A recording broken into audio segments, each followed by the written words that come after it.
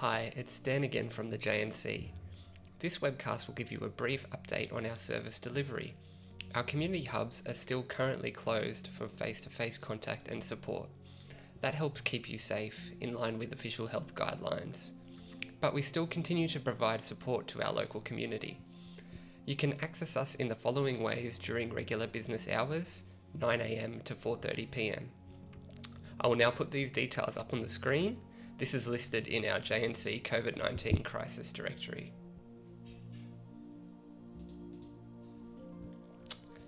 You can call us by phone on 9349 8200, by text on 0447 046 606, by email to contact at jnc.org.au, through an online inquiry on our website at www.jnc.org.au.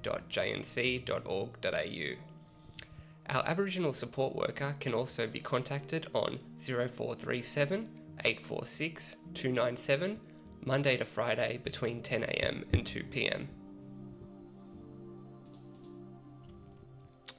We are also continuing other services such as our age services, our family support, and our domestic and family violence service. We will be delivering these services in a different way to the way we did before, but with the same purpose to support you.